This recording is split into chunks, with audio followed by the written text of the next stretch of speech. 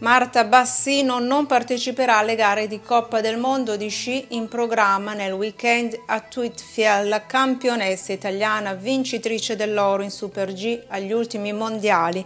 È rientrata in Italia per un gravissimo lutto che l'ha colpita nelle ultime ore. È morta questa mattina la cognata Sara Fina, 30 anni compiuti ieri.